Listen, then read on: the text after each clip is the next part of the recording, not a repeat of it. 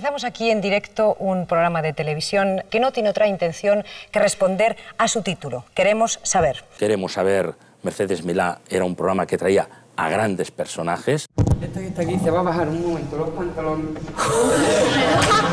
y le va a demostrar a usted los trucos que yo creo que no tengo. Aquí tiene una cornada que me pegaron en Zaragoza, aquí tiene otra y dos que no te voy a poder enseñar. Fue una capacidad de conexión con la realidad, que es lo que queríamos tener en la cadena. Paco Umbral, que lleva la mano levantada hace un ratito.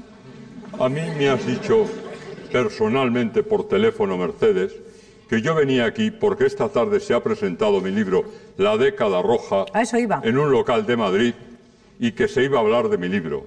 Estamos acabando el programa y de mi libro que está ahí sobre la mesa no se ha hablado ni se va a hablar para nada. Y por lo tanto yo estoy dispuesto a levantarme y abandonar la mesa porque yo he venido aquí a hablar de mi libro. No esperaba que hicieras eso conmigo. Sí, sí, sí, claro. No Sí, esperaba. estos De todas números maneras, siempre, siempre. eh, no esperaba, pero si quieres, vete. Sin Se acaba el tiempo, entra la publicidad, entran unos vídeos absurdos que todos hemos visto ya y no se habla de mi libro. Pues entonces, ¿a qué he venido yo aquí? Umbral era capaz de decir aquello y cosas peores. Todo quedó en he venido aquí a hablar de mi libro, que es una frase que le ha sobrevivido. Ya está bien. O, o se habla de mi libro o me voy. Y se acabó.